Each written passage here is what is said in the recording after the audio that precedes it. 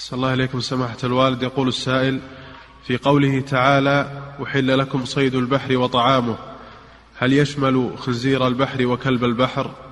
كل ما لا يعيش إلا في البحر فهو من صيد البحر لأنه لا دليل على الاستثناءات. هم قالوا أن التمساح والحية أنها لا تؤكل لكن ما في دليل على هذا.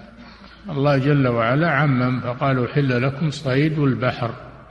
وصيده ما لا يعيش إلا فيه. أما التمساح إنه يعيش في البر والبحر فيغلب عليه جانب الحظر أما ما لا يعيش إلا في البحر فهذا حلال. نعم دون استثناء. نعم.